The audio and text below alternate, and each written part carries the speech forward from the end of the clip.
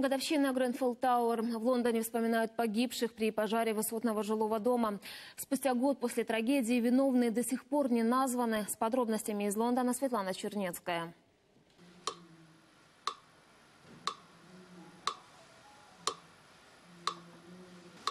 72 секунды молчания в память о 72 погибших. В Великобритании вспоминают жертв самого масштабного пожара в Лондоне со времен Второй мировой. Минутой молчания почтили королева Елизавета II и супруга принца Гарри Меган Маркл, депутаты парламента, сотрудники пожарной службы и, конечно же, те, кому удалось выжить той страшной ночью. Запад Лондона сегодня запестрел зеленым. Этот цвет стал символом Гренфелл Тауэр, 24-этажного здания в одном из самых богатых районов Лондона – Челси и Кенсингтон. Оно было домом для 600 человек, в большинстве из малообеспеченных семей, выходцев из Африки и Ближнего Востока.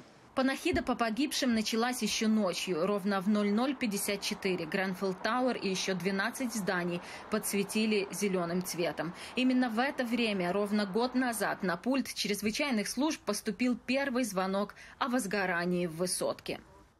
Основной вопрос, которому посвящена наша работа, каким образом в Лондоне в 2017 году бытовой пожар распространился так быстро и легко, что поглотил всю многоэтажку. Возгорание произошло в квартире на четвертом этаже. Пламя распространилось очень быстро. Людям пришлось выпрыгивать из окон. Огонь забрал жизни целых семей. Это наша маленькая звездочка, Логан Гомес. Мы так ждали его появления. Он выглядел таким умиротворенным, будто бы спал, как все новорожденные. Наши сердца разбились в тот момент.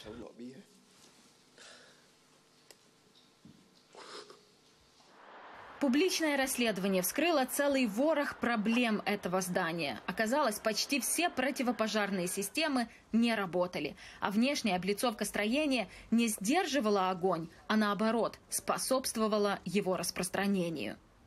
Нам советовали оставаться в квартирах, потому что думали, здание оборудовано противопожарными системами, и огонь удастся быстро потушить. Сколько людей можно было бы спасти, если бы они, как я, не послушали пожарных и покинули квартиры?